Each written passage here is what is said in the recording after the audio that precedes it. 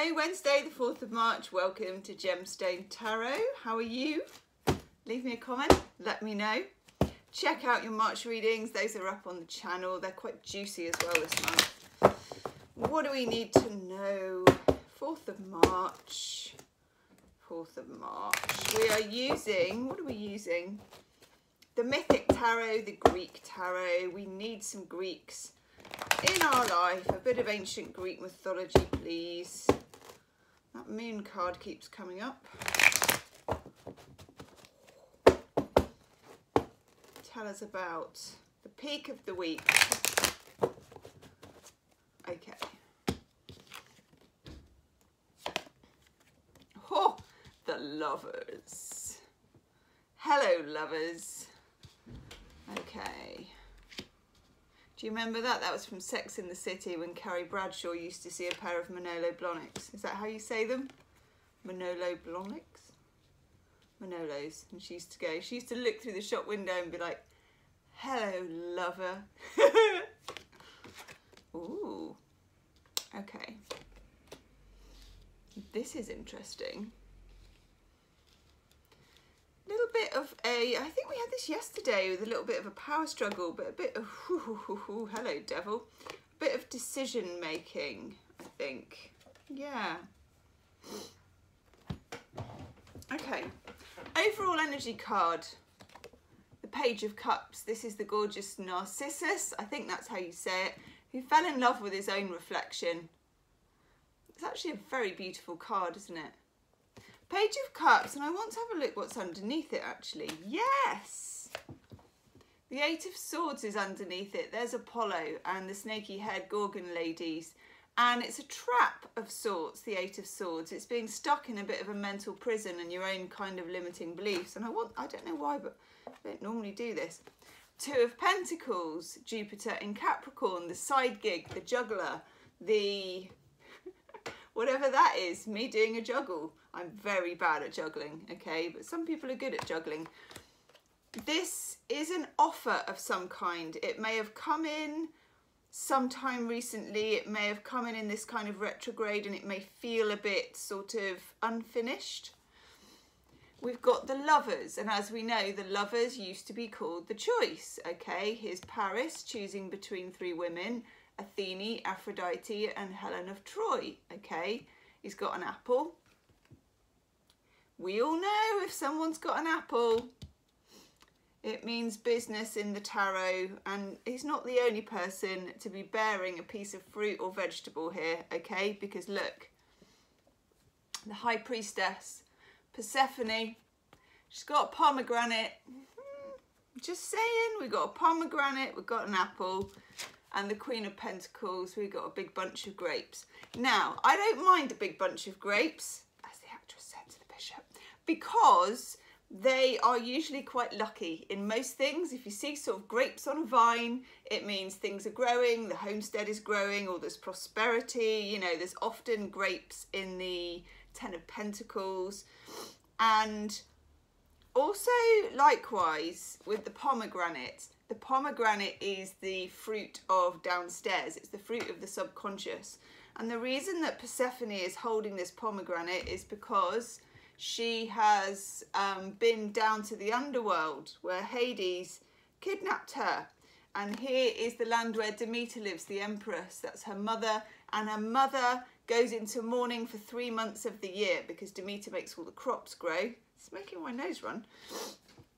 Demeter makes the crops grow and for nine months, which is the gestation period, Persephone lives above the line with her mum and for three months Persephone has to go down under the contract because she ate a bit of pomegranate and stay with Hades and Demeter goes into mourning and that's when we have winter, okay? I know, we love the Greek mythology. Come, come now. Right, so the lovers used to be called the choice and it feels like there's an offer because we've got the page of cups and it feels like there's some going down below um, psychologically speaking, of course, okay? And retrieving some kind of knowledge which will help you make this decision.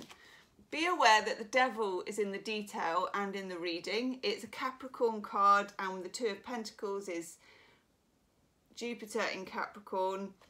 The devil is also temptation and it's what you're bound by.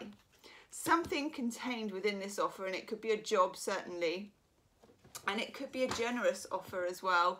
It could come from a friend, or here we are with the Three of Cups, which is the socializing card. It could come from a group or a friend perspective. It could seem attractive. The Six of Pentacles, it's generosity. You know, this guy is um, being munificent and he's giving away pentacles and he's generous, you know. It can be a little windfall, it can be a tax rebate, but I'm not getting that vibe for this reading, sorry. The vibe I'm getting for this reading is it's a deal of some kind. It could be romantic, it could be work, but it's a deal, okay? The King of Swords and the Queen of Pentacles are next to each other. You can see from the temperature of the card that these are very different folk.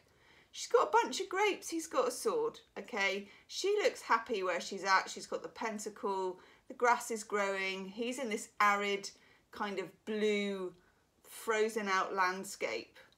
He is the details. He can represent um, quite stiff management at work. He can represent what we call jobs worth people. You know, it would be more than my job's worth to bend the rules for you, that kind of person. Then we have the Eight of Wands. Okay, now Eight of Wands is a card. I watched David Attenborough again last night actually, and which this is obviously my David Attenborough mime. It's because I watched dolphins do the the dolphin thing where they go ping, tiddly tiddly tiddly, wing like that. There is nothing better than the joy and glee of a dolphin doing a corkscrew twist again and again because they can, okay? It absolutely warmed my cockles, I have to say. So, Eight of Wands. Done my little dolphin. The Eight of Wands is something coming in.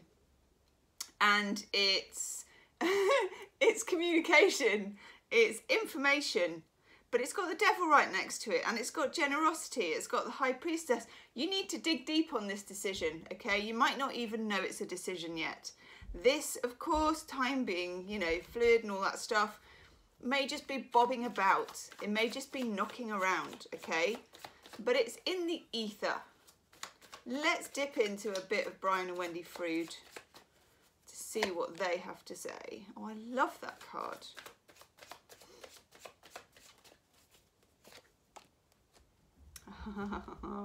How interesting is that?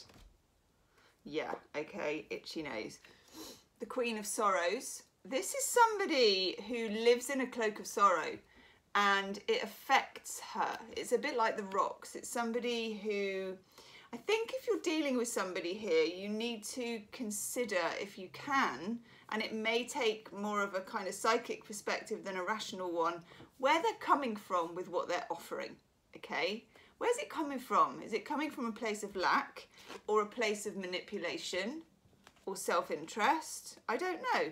The Queen of Passage. That's interesting because she's holding a pomegranate. And I know it looks like she's ripped out someone's beating heart, but it's a pomegranate because I looked it up. I used to think it was a heart. Kestrel and a raven are here, okay? Birds of passage and communication, I think. I know that from Game of Thrones and the child which is one of my favorite favorite cards. Now this for just one or two of you could be to do with a child or a baby or a pregnancy but for others of you you need to take the child's perspective. Out of the mouths of babes comes the enlightened truth but they don't even know where it came from.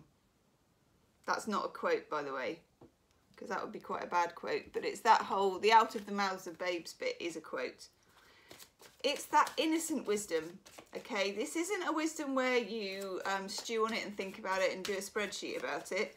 This is where you to be honest i suppose it's joseph campbell and this is a quote follow your bliss. If it yes if it feels good follow it okay? With that devil card if this feels a bit off act accordingly. It's a bit off and then Wisdom of the Oracle, Colette Baron Reid, we get the Blessed Prawn. I love a Blessed Prawn. We love the Blessed, Blessed? The Blessed Plawn. The Blessed Plawn. Okay, we all know I can't speak in this moment in time. The Blessed Plawn. Let's have a Healing with the Angels card.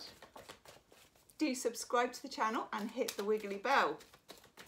It's down there or it's down there. And it needs to be like this. It needs to be mid-disco in order for you to be informed of new readings, random love readings, which there is one just up. Study. This might be about an opportunity to study. It might be money towards studying. It might be that you need to study the situation, but do it via the kind of rainbow arc, not via the noggin, okay? See you soon. Namaste.